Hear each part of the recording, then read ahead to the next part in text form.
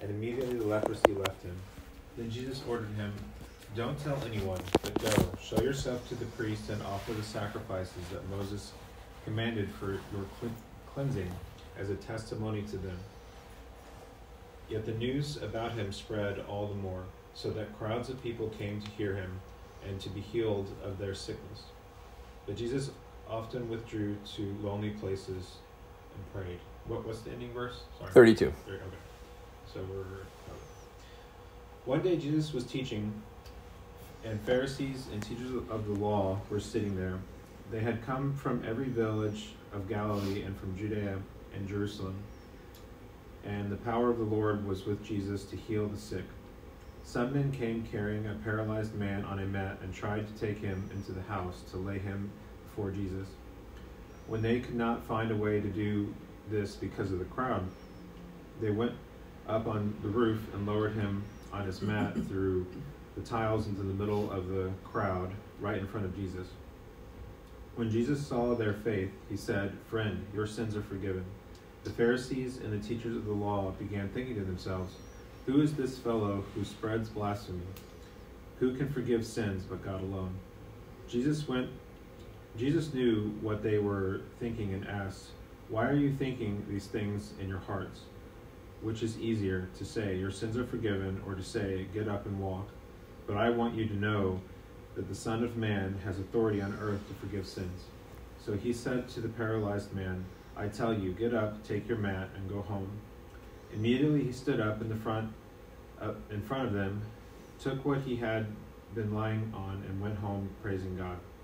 Everyone was amazed and gave praise to God. They were filled with awe and said, "We have never, we, have seen, we have seen remarkable things today." After this, Jesus went out and saw a tax collector by the name of Levi sitting at his tax booth. Follow me, Jesus said to him. And Levi got up, left everything, and followed him. Then Levi held a great banquet for the for Jesus at his house, and a large crowd of tax collectors and others were eating with them. But the Pharisees and the teachers of the law, who belonged to their sect, complained to his disciples, Why do you eat and drink with tax collectors and sinners? Jesus answered them, It is not the healthy who need a doctor, but the sick. I have not come to call the righteous, but sinners to repentance. This is the word of. Thanks be to God. Uh, so that verse uh, we're working on memorizing is interesting because it pretty much personifies the, the first section of Jesus' ministry. Um, but about a month ago, Lewis was preaching through the, the text in Luke, and he had the passage where Jesus encounters a demon possessed man. And so the demon possessed man, of course, was scary, uh, whether it was mental illness or most likely mental illness layered on top of demon possession. Um, most of the time, like the guy possessed by Legion in the Bible, remember that story? Uh, these people were presu- uh, often had supernatural strength, uh, isolated themselves. It says with the guy who was possessed by Legion tore chains that people bound him with, and um, people were just freaked out and afraid of him. And so uh, Jesus goes and ministers to a demon possessed man. In the text today, he goes and ministers to a leper who freaked people out in a different way. Uh, and then he goes on to minister to a paralytic who didn't freak people out necessarily, but was judged by people because the assumption was there had to be sin in that man's life or sin in his family to cause him to be a paralytic. And then he goes out of his way to meet a guy named Matthew or Levi, the tax collector, who was also hated by people. And so the first thing we want to look at is this idea of an outcast and how the people view these outcasts and then how Jesus viewed these outcasts, and then how Jesus views us, because in a sense, we're all kind of outcasts in one way, shape, or form. And so the first thing, Jesus encounters this leper. Um, this man here has leprosy. So leprosy is um, it's one of the oldest diseases, if not the oldest disease that we have historically recorded, and it's a it's a bacterial infection. And so when bact- when you have this disease, um, it, does a couple things. One, it can cause like just different cutaneous lesions on your body that ooze. And then um, it's, a, it's nerve degenerative. So um, you lose limbs a lot of the times. One, like your connective tissue dissolves, and so that's, what, that's where the knuckling happens. And then you lose limbs often because when you don't feel like, you know, having pain sensors are what keeps you from something. You know, you touch a stove, you, you recoil because it's hot. If you're a leper, you don't know to recoil. So you, you wound yourself, the wound gets infected, that bacterial um, infection spreads and you lose the limb. Uh, you literally are the walking dead. It was a horrible, horrible disease. And often you go blind because, again, you know to blink because nerves in your eyes say, hey, your eyes are getting dry, blink.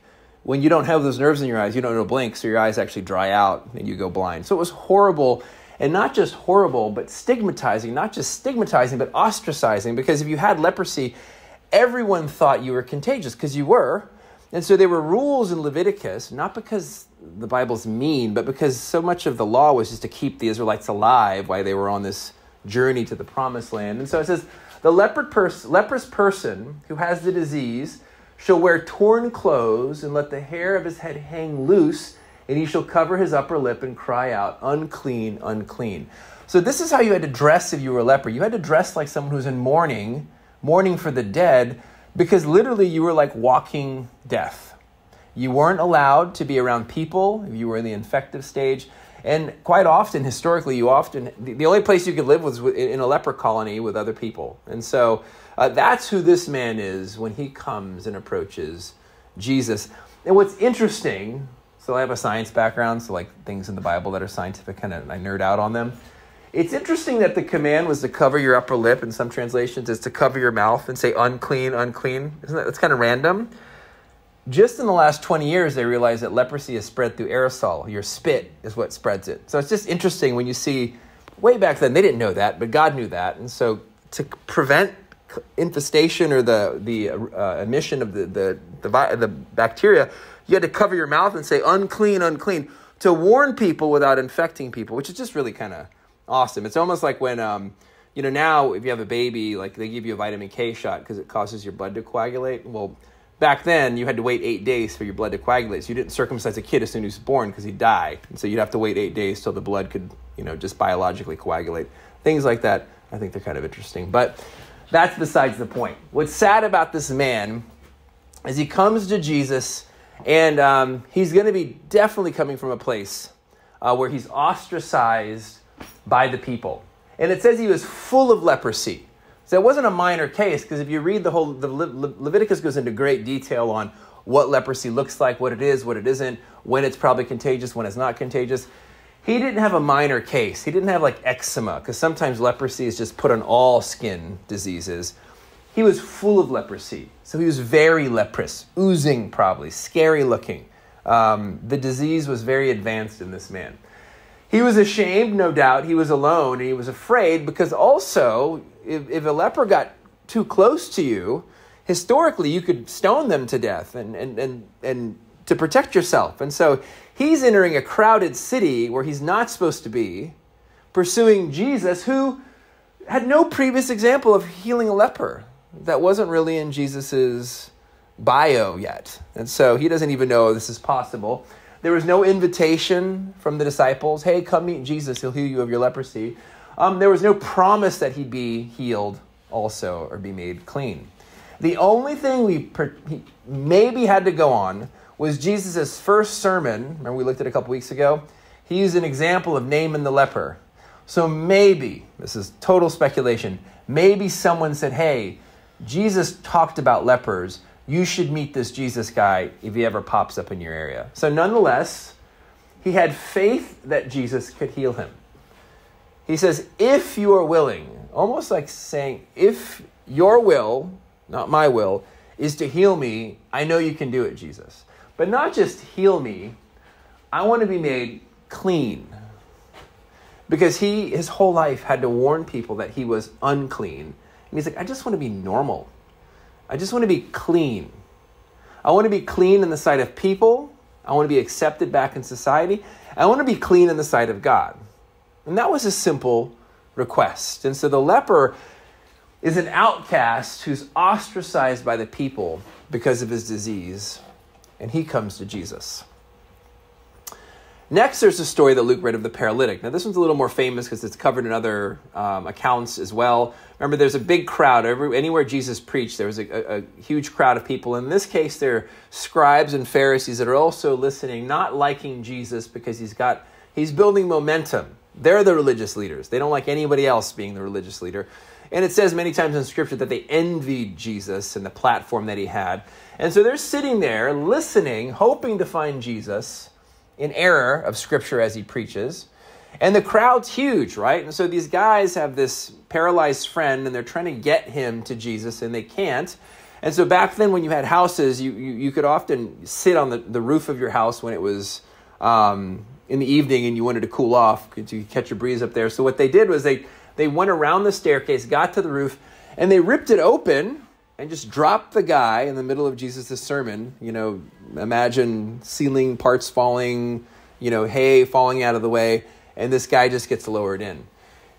Jesus sees him and recognizes the faith of his friends, but prior to that, this man would have been judged by the people because I said in John 9 1, when it came to disability, most of the time the people were very judgmental and they assumed that you had to sin for God to punish you in that way with that specific disability.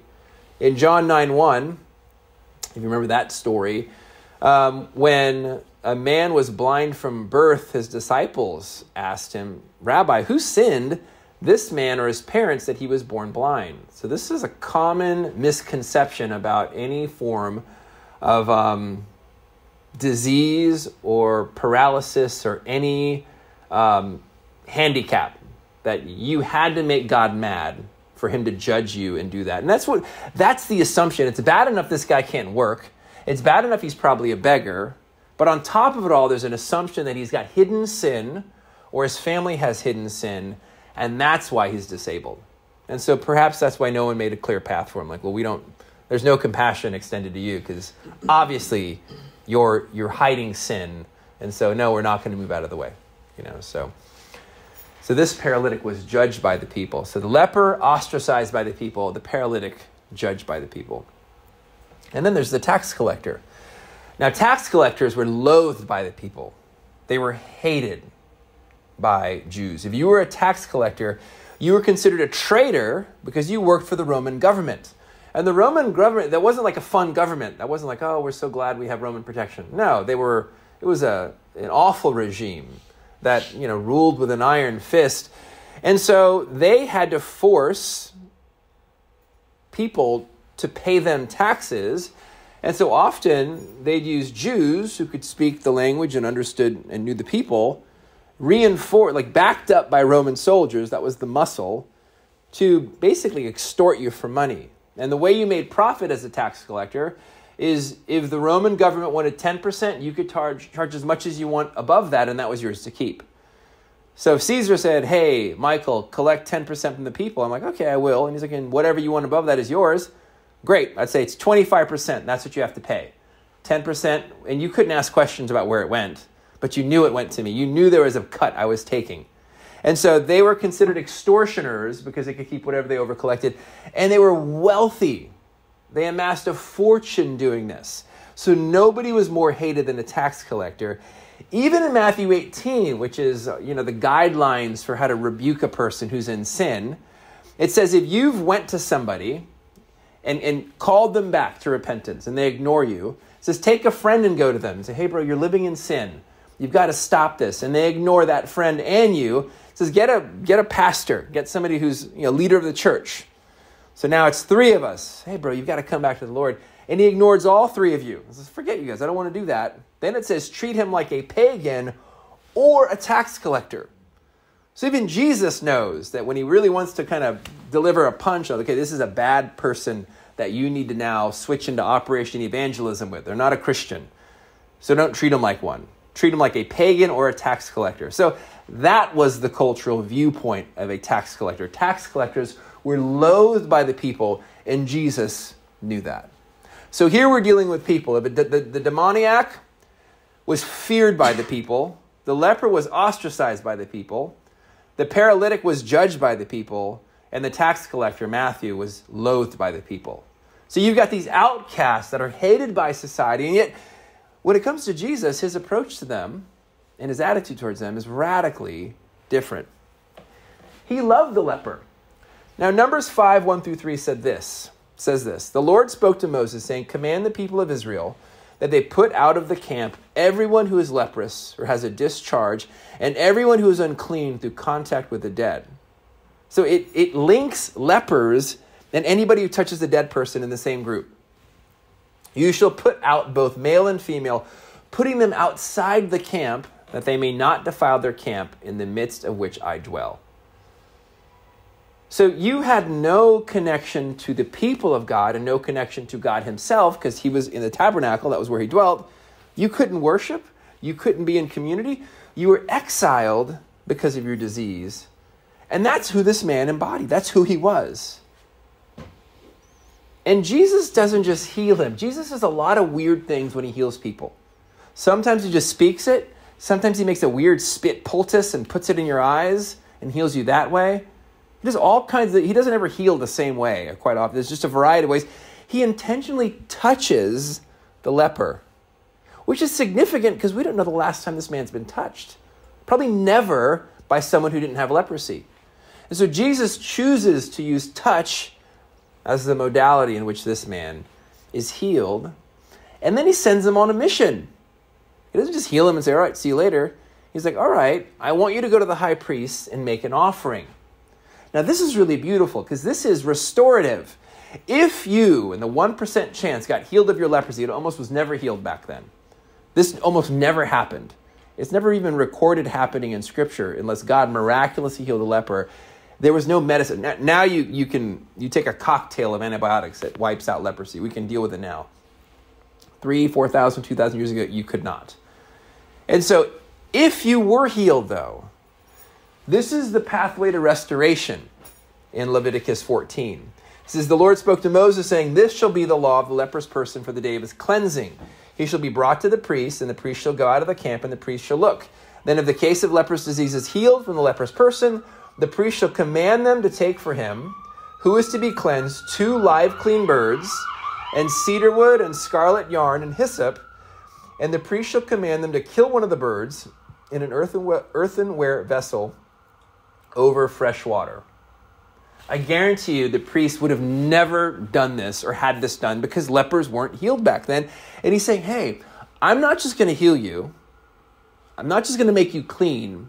I'm going to restore your position in the community. So go to the priest, show him that you no longer have leprosy, do what the Levitical law says to do, and be part of the synagogue again. So, how beautiful is that? The guy just wanted to be clean. Jesus makes him clean, restores him from his sin, and gives him a position back in community. So Jesus always goes further. And it's messy in some cases because what he's calling him to do is hard. He had to approach the priests. Again, there's historical documentation of priests chucking rocks at lepers as they came to them because these were the holiest guys of all. You definitely didn't come to a priest. And so this guy would have known all that. So Jesus called him to do something hard and challenging, but he gave him a mission, which is really beautiful. God doesn't just heal you and save you and restore you, He wants to use you uniquely with the giftings, the passions, the past. All those things come together in the form of mission in your life, and we see that with the leper. He also loved the paralytic. The paralytic, it's the man's friends, which is really beautiful, were determined to get him in front of Jesus and Jesus, moved by their visible faith. The one thing that stands out to Jesus time and time again in Scripture is someone's faith. He doesn't care who the faith belongs to. In this case, it belongs to the friends. He sees faith of the centurion. He's always impressed by a person's faith. And he's like, wow, these guys were persistent. They needed to get their friend to me, and come hell or high water, they were going to do it, even if it meant tearing a hole in someone's roof, which again makes the miracle kind of messy. One thing to get used to in Scripture, and one thing to get used to in your walk with God, and one thing to get used to with a biblical concept of God is sometimes it's messy. It's not always neat. Like what God calls you to, what He takes you from, your salvation process, your sanctification process, it's often messy with highs and lows and ups and downs and lapses in your faith and lapses in your belief in God. Most of the Psalms, as I said, were lamentations, which means they're questions to God. How long, O Lord? Why? Why are you doing this? And these open-ended questions because it's frustrating and God doesn't work on your time frame. And these miracles are all kind of messy also. This one maybe not as severe as a a priest seeing a leper coming at him and wanting to chuck a stone at you. But this is just nobody ever goes into like who fixed the guy's roof, but no one really cares. As soon as this guy is healed, his unique mission is hey, rise up, take up your mat, and go home. In other, in other passages, it says, Go home to your family and tell them how much the Lord has done for you and how he has shown mercy on you. That was the specific calling. And so it's this beautiful picture again of somebody who was helpless, somebody who couldn't do anything without his friend's help. Now, not just being forgiven, because that was what Jesus said. He didn't say, I heal you. He said, I forgive you of your sins, and I'll heal you, and I've got a specific mission to your family. Go home to them. Let them see you fully restored, and tell them that I'm the one who did it. I'm the one who showed mercy on you. So, certainly, salvation. I mean, imagine your child, probably born a paralytic, has been a paralytic his whole life, and now he comes in, you know, skipping home. When he connects that to Jesus, we don't know the story. It doesn't go into that, but I'm certain many of his family members came to Christ. And then with the tax collector, he didn't just love the paralytic, he didn't just love the leper, he loved the tax collector too. He told Levi, he said, Follow me. And he understood, he knew almost everybody hated tax collectors. It's beautiful to see how Jesus loved someone who is very easy to hate. And he calls him, and it says Levi left everything. It's one thing to leave your fishing rod behind or your fishing nets and your ghetto apartment or whatever Peter lived in. He didn't have a lot of money. Matthew had a lot of money. He had a lot to leave behind, and he did it in a second. And the last thing he did was to throw a huge party for his friends, so all his tax collector buddies, tax collector buddies could come meet Jesus. When he realized who Jesus was, and realized that all the money he had, all the power he had, all the comfort he had was nothing compared to what he had in Christ. The mission on earth, the eternity with the people of God, with God Himself, it was a no brainer. He left it all much more to leave than any of the fishermen, much more to leave than any of the other disciples. He had the most to lose, but in his eyes, it was the most to gain. So his mission was specific. Not everyone got to follow Jesus. And Jesus said, Your mission is going to be to follow me. And part of doing that was to bring his friends. So he threw a dinner party and wanted to get as many of the people as he knew that were okay with him in the presence of Jesus. And I just put, you know, Peter, James, and John could go. This is a, a, a theologian named Wessel. He said Peter, James, and John could more easily go back to their fishing business. Their fish always around. Just get a different fishing pole. Uh, it would be very hard for Levi to go back to tax collecting. Tax collector jobs were greatly sought after as a sure way to get rich quickly. So as soon as you quit the job, you don't you don't jump back in. It was over. And he didn't care. And so he left all. And it's messy because there's archaeological evidence that fish taken from the Sea of Galilee were taxed. So Jesus took for his disciple a tax collector who would have collected taxes from fishermen who also didn't like him. And it was okay with Jesus. He didn't care about mixing up uh, the lineup when it came to, his, came to his disciples. And so, again, a leper who's ostracized, loved by Jesus, restored, made clean, sent on mission. A paralytic, most likely judged by the people. He certainly got hidden sin. Forgiven by Jesus, healed by Jesus, sent home on mission. And a tax collector, loathed by the people, hated, nefarious. Nobody liked tax collectors. Jesus loved him. Gave him a command not just to not just to quit your business, but to follow me and my unique ministry for the next three and a half years. And so he did. And so, like the leper, our sin, because this is all a backdrop of what sin looks like and what sin does. So, like the leper, our sin can isolate, ostracize, desensitize, blind, and slowly destroy us, keeping us from God. Like the paralytic, our sin can paralyze, stigmatize, and also keep us from God, just like he wasn't able to enter that place because of all the people. Sin paralyzes and keeps us from God. Like the tax collector, sin is pleasurable for a season, the Bible says, makes that clear, but it's insatiable because the Bible says you have eternity in your heart. Nothing temporal can satisfy you. Nothing. No amount of money, no pleasure, no form of hedonism, no level of comfort on earth can satisfy the longing in your heart because you're eternal. Only something eternal can satiate that. And despite all these shortcomings that we embody, we're like the leper, we're like the paralytic, we're like the tax collector. Jesus still cares and wants to rescue and restore us. And so maybe in the past, or maybe today, or maybe it ebbs and flows, sometimes you feel unclean, condemned by, condemned by God and man.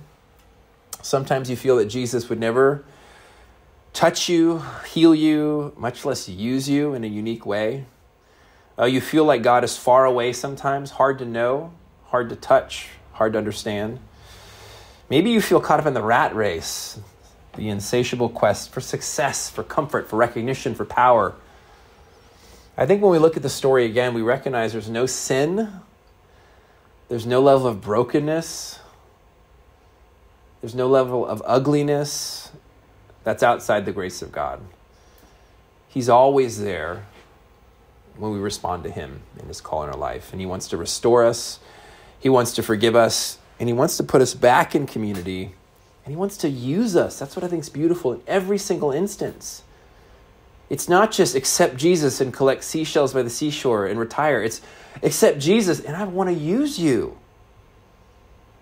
Like, that's the whole reason I do this. Why do pastors preach?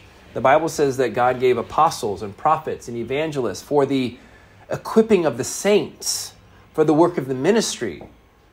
Like ministry is often, oh, that's what pastors do. But again, ministry is what we all do as the church. Everybody has a ministry. Everybody's called to live on mission. It just looks different. And it, it evolves, and sometimes it's specific for a short period of time, and then God calls you somewhere else. And sometimes maybe it's one thing for the rest of your life. We don't know. The missions, it's all different. One went to the high priest, one went home, one followed Jesus. It always looks different. And so, calls to action, application. I didn't preach on this part, but it was interesting right in the middle of all of that busyness and all of that potential revival where everything was buzzing and crowds were marveling at Jesus' preaching and marveling at the miracles, he would leave it all and go pray, isolate himself, remove himself from the, uh, the equation to recharge and to reconnect and we, if, if that was Jesus, then how much more do we need to be like that? And how challenging it is in a busy city like New York to pause to pray. And so ask yourself, how's, how's my prayer life this past week? And it was terrible, what can I do to improve it this next week? And then, like last week, we see in this text that healing and restoration are, are always followed by specific mission a call to action. Even if the people, they weren't qualified. And the leper didn't go to seminary. The paralytic didn't know the scriptures super well, I'm sure. Matthew was greedy. That's why he got into tax collecting in the first place. And yet, Jesus wanted to use all of them. They just had to obey and step out wherever he called them to go. So, is God calling you, one, to be restored? Is there a certain sin that you need to continue to ask Jesus to help you with, or ask a brother or sister in Christ to help you with or hold you accountable to? Or is there a specific mission that you know you're supposed to do? Maybe someone you know you're supposed to pray for. Maybe someone you know you're supposed to talk to. The tax collector, it was just his friends. It was easy. I don't think you have to go on the street and pass out tracts unless that's your thing. That's not how I operate. I operate who's around me. It's the people I do personal training with. It's the people sometimes in my fashion world, my little side hustles. Those are the people I'm organically connected to. That's my mission field. Sometimes God calls you to places far away. More often than not, it's just the people right there in your sphere of influence. The people you work with, the people in your family, your friends. Those are the people we're to be praying for. Those are the people we're to be looking for opportunities to live a life that's peculiar enough in a positive way that they ask questions and we're ready to give them answers. That we're willing to have conversations, to speak the truth in a loving way. And so ask yourself that we should never be, we should never stop asking Jesus, God, what do you want me to do? Not just my job, that's part of what I do, But on a, on a larger level, what do you want me to do? Who do you want me to speak to? Who do you want me to pray for? Who do you want me to love? Who do you want me to serve? What do you want me to do? So let's pray. So, God, we thank you for your word. We thank you for these pictures that we get of what mission looks like. We thank you for these pictures of compassion, how you go and you love the unlovable. From frightening demon possessed people that you, you go after, to lepers who are contagious, and yet you touch them, to paralytics that people ignore, and yet you pause your preaching to heal somebody and to forgive them of their sins.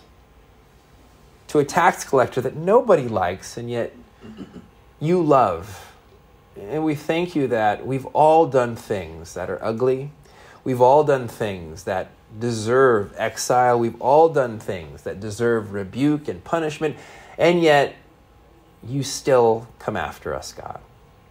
We thank you for that, God. May we always be surrendered not just in the sense of salvation, but always be sent, surrender to you in the sense of sanctification when you help us work out our salvation with fear and trembling, when we grow. Seasons where we're running, seasons where we're crawling, God, help us to continue to run the race set before us. We ask that in your name, Jesus. Amen. So, one thing I think that as we respond, it's important always to pause. And um, again, I stress it a lot, but it's just everybody knows this. It's just a busy city, and it's rare to have moments where you contemplate. One of the most ancient practices, Christian practices, was contemplation, where you just paused and you were still and you just sat there and you just thought about what God might be doing in your life.